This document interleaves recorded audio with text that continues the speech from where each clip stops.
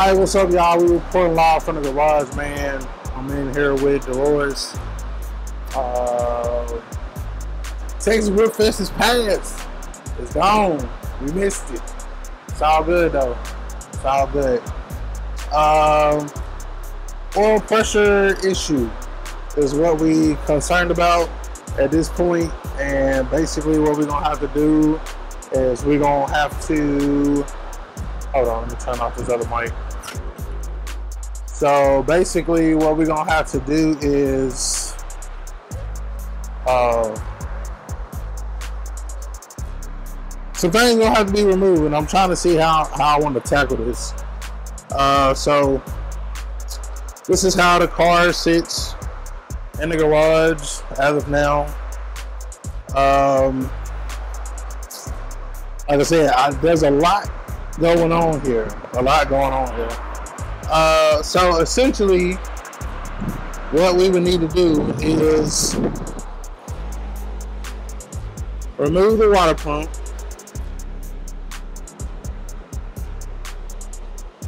Uh, after the water pump is removed, we would have to remove the balancer.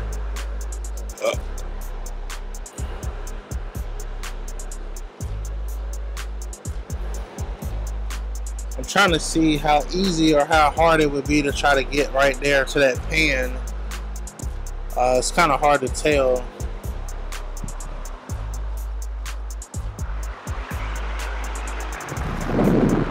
Of course, initially, first thing that came to my mind was like, well, fuck it, bro. We'll just pull that shit apart.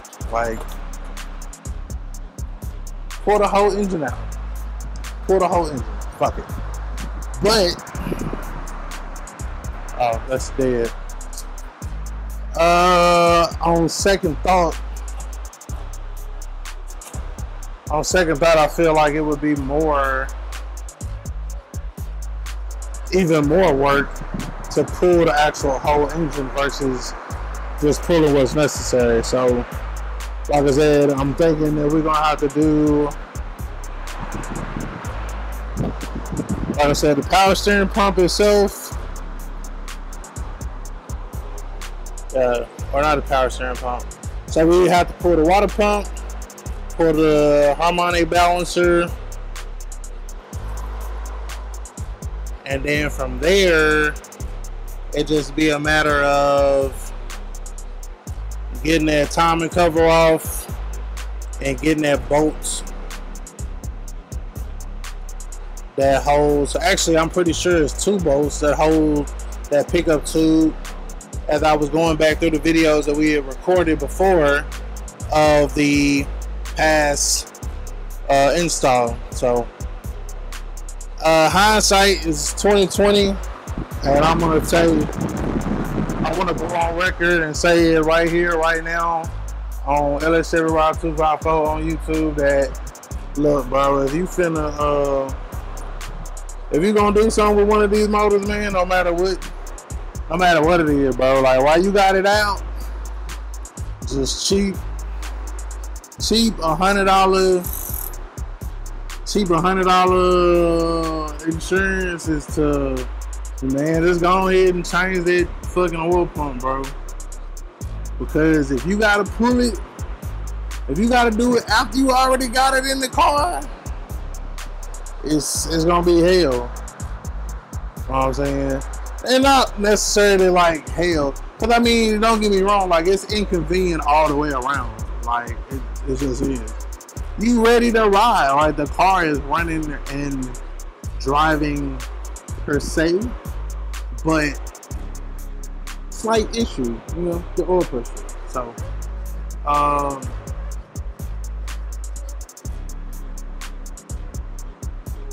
if I needed to,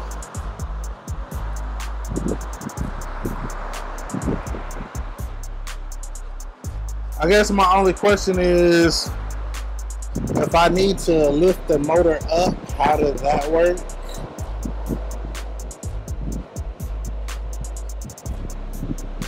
Especially if uh,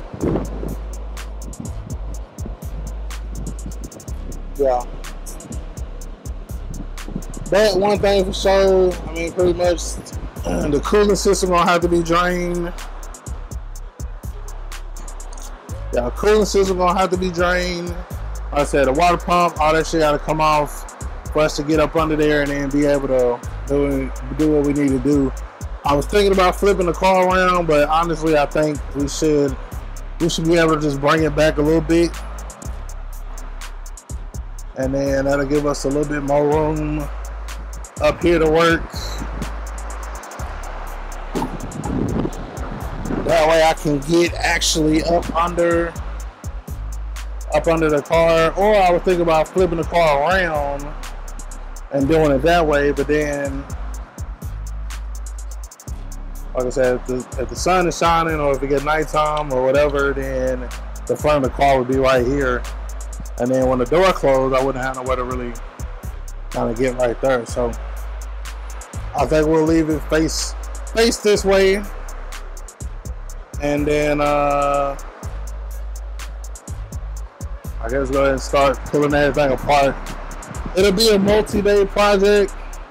Nothing that I'm gonna try to do in one swoop. Uh, I want to say, I want to say, I want to say I got an oil pump over here somewhere. But I believe I bought an oil pump for this. And never well, I won't say never got to use it, just hadn't got to using it yet. Is what we'll say. If I don't have an oil pump for it, then it's you better believe that mom gonna get one. Please believe me.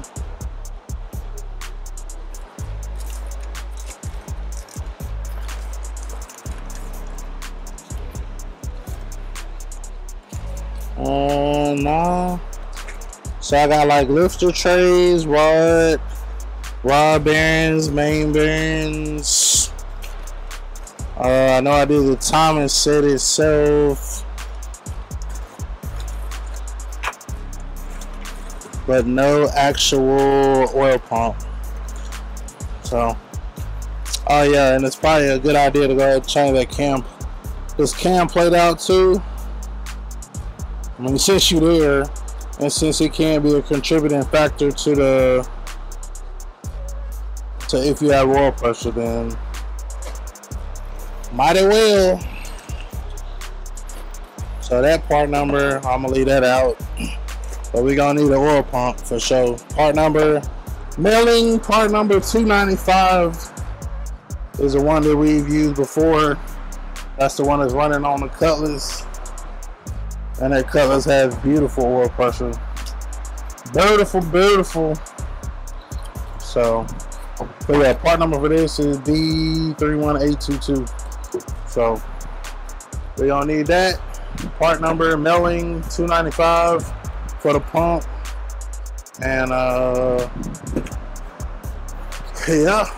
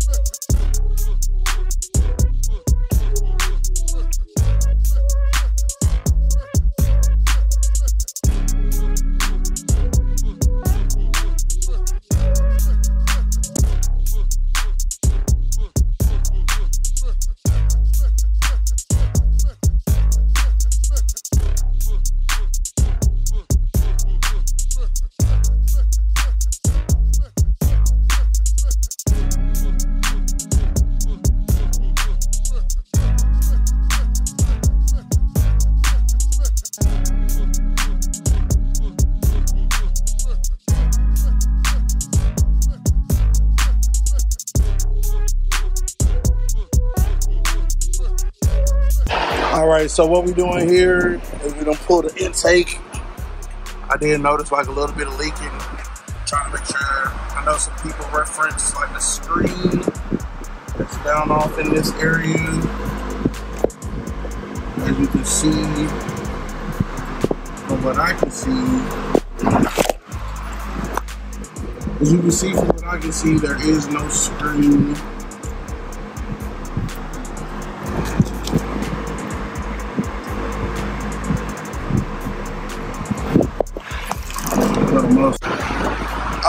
So what we got here, we got the oil pressure sensor off. As you can see, it's a little wet back there, so we're gonna, we done took out the cam position or the yeah, cam position sensor.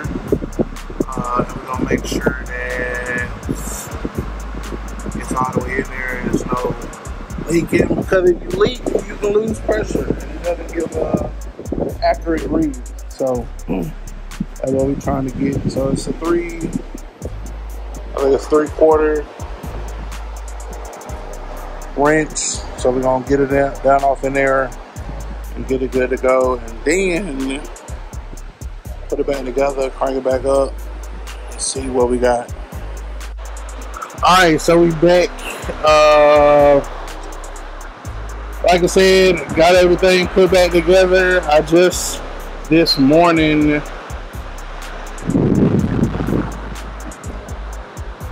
so I yeah, I just this morning put everything kind of back the way it back the way it need to be. Um, I did have to take it in, so I did crank it already to see what the oil pressure was, and while I believe it's better, it's still not where it's supposed to be. So more than likely, she gonna need a a new heart, which that shouldn't be no problem. Like I said, I got a block. I got a block over there. I got a block over there, so I'm saying you prepare for it. Uh, there was like a little bit of a leak back there at the sensor. I pulled the sensor out, make sure there was no new problems, etc. Uh, and went from there. So basically, this is where this is basically where we're sitting at.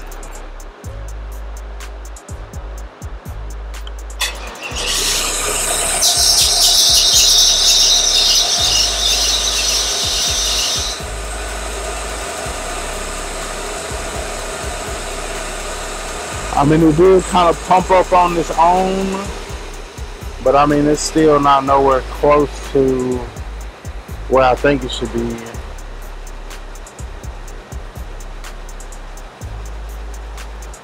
Yeah, and it's still giving a warning for like 9 PS, 8, 9 PSI. Like if I rev on it,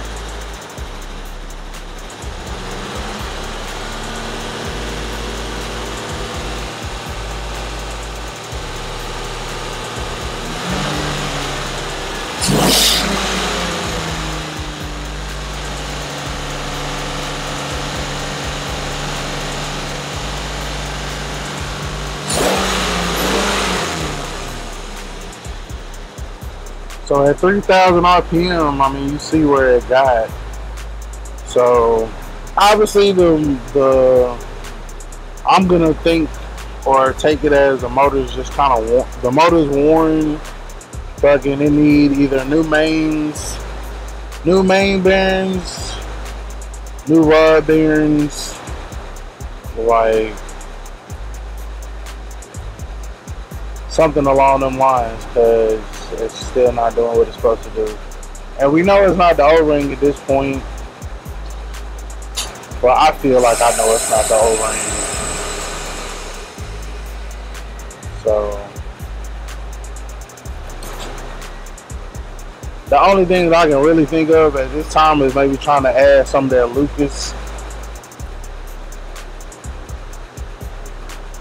If I add a thing of the Lucas, then it may kind of kind of help it build back up. So, but like I said,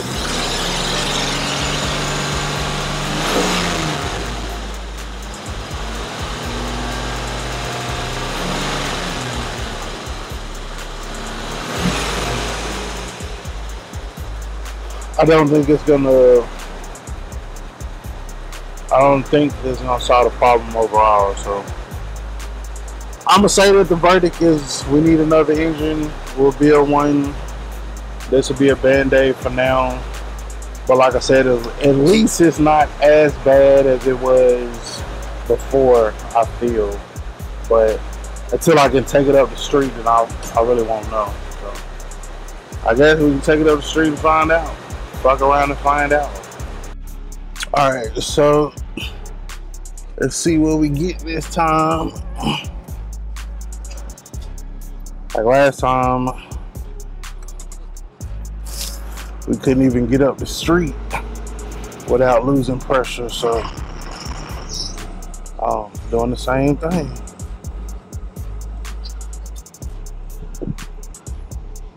It doesn't seem like the pressure drops as low, but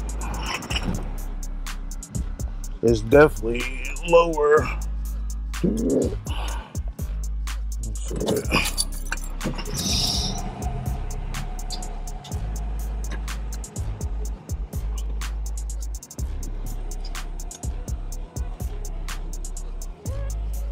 So yeah. Long story short, this one just gonna need a motor all the way around cause yeah, see it just not holding pressure. Can't even get that motherfucker. I think it's worse than it was before.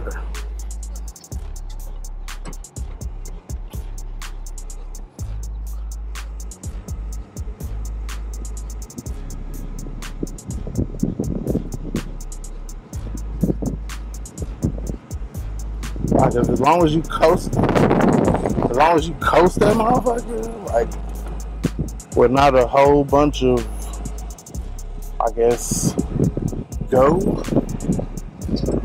then you can get something out of it.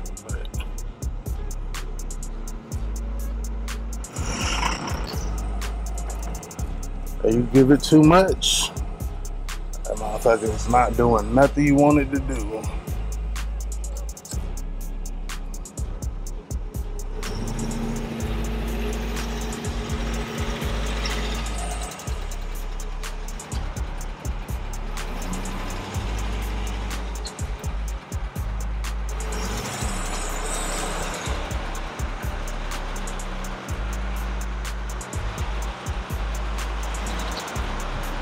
I could probably need a compression test on this motherfucker at this point too, but